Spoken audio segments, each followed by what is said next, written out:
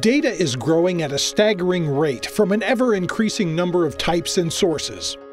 In fact, 90% of the world's data was created in the last two years alone.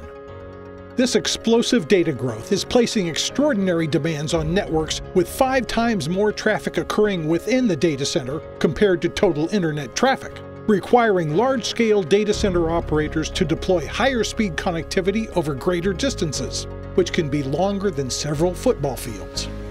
To meet these demands, a massive number of high-speed optical transceivers are deployed to connect switches, converting electrical data to optical signals that are transmitted on fiber optic cables, over distances from hundreds of meters to several kilometers. However, these transceivers are often expensive, and traditional optics manufacturers have struggled to keep up with the unprecedented deployment size of hyperscale data centers. But Intel Silicon Photonics has changed the game by integrating optical data transmission with Intel's world-class silicon manufacturing, enabled by the world's only hybrid silicon laser. This breakthrough technology converts silicon-based electrical signals into light, enabling data to be transmitted over great distances at ultra-high bandwidth in today's hyperscale data centers.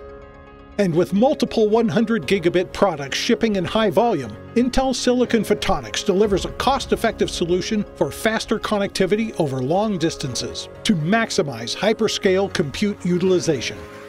Intel Silicon Photonics is also expanding beyond the data center with products for 5G wireless connectivity for communication service providers.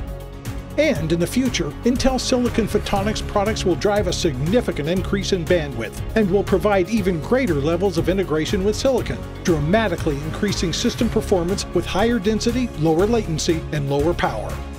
Intel Silicon Photonics, breakthrough network technology for the demands of hyperscale data centers today with compelling innovation for the future. To learn more, visit us here on the web.